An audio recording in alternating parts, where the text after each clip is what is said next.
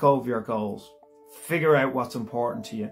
Not goals that aren't real, actually real, really and real important goals to you. Not goals of your parents or goals of, of your kids or your peers or your friends.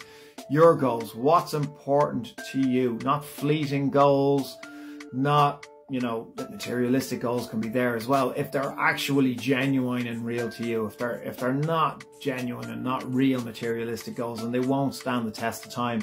As soon as a bit of hardship, or as soon as there's a, a roadblock or an obstacle or a problem or a hazard, because these things are going to happen no matter what. So make sure your goals have are broken down into manageable and actionable steps. Make sure you've got realistic time frames, extend the time frame if you need to, and make sure that they're genuine. They're in your, not only your heart and in your mind. It's not just a want. It's a, it's a, it's a, it's a north. It's a true north guiding start. Or it's a real goal. It's something, it's a purpose that you've been put here on the planet uh, to achieve or to do or to experience. Something that strong is going to be very hard to deter you away from it once you've once you've made that decision and made that realization more importantly